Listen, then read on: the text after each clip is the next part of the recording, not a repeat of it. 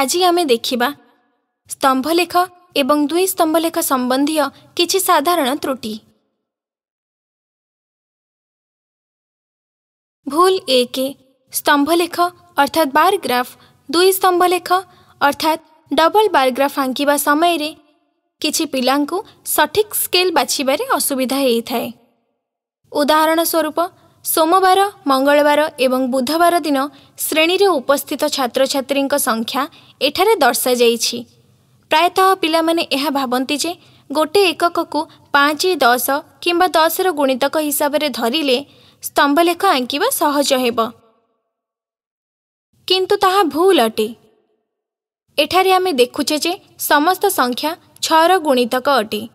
ତେଣୁ ଯଦି ଆମେ ଏକ ଏକକକୁ ଛଅ ଜଣ ଛାତ୍ର ହିସାବରେ ଧରିବା ତେବେ ଆମକୁ ସ୍ତମ୍ଭଲେଖ ଅଙ୍କନ କରିବାରେ ବହୁତ ସହଜ ହେବ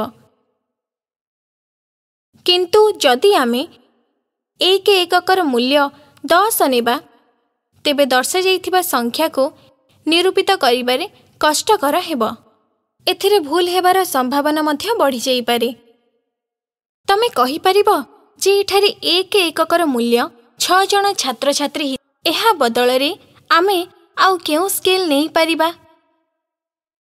ଚିନ୍ତା କରି ଦେଖ।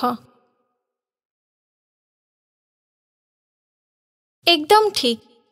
ଆମେ ଏକ ଏକକକୁ ସମାନ ତିନି ଚାରି କିମ୍ବା ବାରଟି ଛାତ୍ରଛାତ୍ରୀ ହିସାବରେ ଆମେ ଏଠାରେ ସ୍କେଲ୍ ନେଇପାରିବା। ବାସ୍ତବରେ ଏହା ଆବଶ୍ୟକ ନୁହେଁ ଯେ ଦିଆଯାଇଥିବା ସଂଖ୍ୟା ସବୁବେଳେ ଗୋଟିଏ ସଂଖ୍ୟାର ଗୁଣିତକ ଅର୍ଥାତ୍ ମଲ୍ଟିପୁଲ୍ ହୋଇଥିବ। ଏହିଭଳି ସ୍ଥିତିରେ ଆମେ ସେହି ସ୍କେଲ୍ ବାଛିଥାଉ ଯେଉଁଥିରେ ଆମକୁ ଯଥାସମ୍ଭବ ସଂଖ୍ୟା ସୂଚିତ କରିବାରେ ସହଜ ହେବ। ଭୁଲ ଦୁଇ। କିଛି ପିଲାଙ୍କୁ ଦୁଇ ସ୍ତମ୍ଭ ଲେଖରେ କ'ଣ ସୂଚନା ଦିଆଯାଇଛି ତାହା ନିର୍ଦ୍ଧାରିତ କରିବାରେ ଅସୁବିଧା ହୋଇଥାଏ। ଯେମିତିକି ଯଦି ସେମାନଙ୍କୁ ପଚରାଯାଏ ଯେ ଦିଆଯାଇଥିବା ଦୁଇ ସ୍ତମ୍ଭ ଲେଖରେ କେଉଁ ସୂଚନା ଦର୍ଶାଯାଇଛି ତେବେ ସେମାନେ ଏହାର ଉତ୍ତର ଦେଇପାରନ୍ତି ନାହିଁ।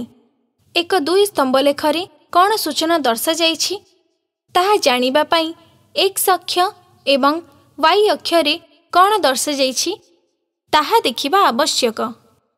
ତା ସହିତ ପ୍ରତ୍ୟେକ ସ୍ତମ୍ଭଲେଖର ଯୋଡ଼ି କ'ଣ ନିରୂପିତ କରୁଛି ତାହା ବୁଝିବା ମଧ୍ୟ ଆବଶ୍ୟକ।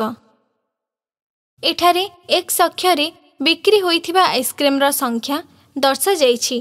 ଏବଂ ୱାଇ ଅକ୍ଷରେ ଦିନଗୁଡ଼ିକ ଦର୍ଶାଯାଇଛି ଏଠାରେ ବାଦାମୀ ସ୍ତମ୍ଭ ଚକୋଲେଟ୍ ଆଇସ୍କ୍ରିମ୍ର ସଂଖ୍ୟା ଏବଂ ଗୋଲାପୀ ସ୍ତମ୍ଭ ଷ୍ଟ୍ରବେରୀ ଆଇସ୍କ୍ରିମ୍ର ସଂଖ୍ୟା ଦର୍ଶାଉଛି ଏହା ଦେଖି ଆମେ କହିପାରିବା ଯେ ଦର୍ଶାଯାଇଥିବା ଦୁଇ ସ୍ତମ୍ଭ ଲେଖଟି ବିଭିନ୍ନ ଦିନରେ ଚକୋଲେଟ୍ ଏବଂ ଷ୍ଟ୍ରବେରୀ ଆଇସ୍କ୍ରିମ୍ର ବିକ୍ରୟକୁ ତୁଳନା କରୁଛି।